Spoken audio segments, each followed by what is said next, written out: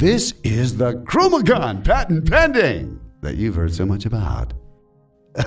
okay, we're kidding. Of course you haven't heard about it. We here at ChromaTec know how to keep secrets, and so should you. Now, paint the worker droid to move it out of the way, then exit the room using the room exiting technique you've learned in the previous room.